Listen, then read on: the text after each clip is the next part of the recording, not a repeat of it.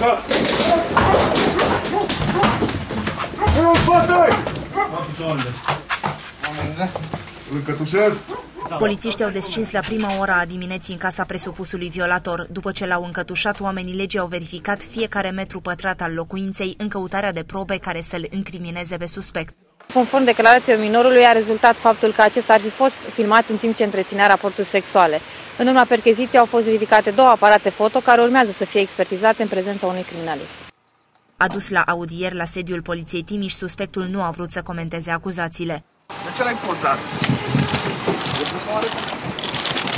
L-ai ademenit cu ceva anume?